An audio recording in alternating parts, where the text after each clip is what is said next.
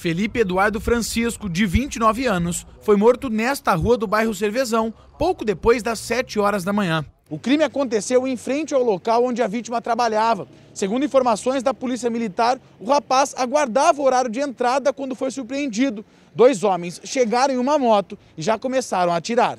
As marcas dos disparos e também de sangue mostram o caminho que Felipe teria feito enquanto era alvejado. Ele seguiu por alguns metros até cair nesta esquina. Segundo a PM, foram pelo menos 10 disparos.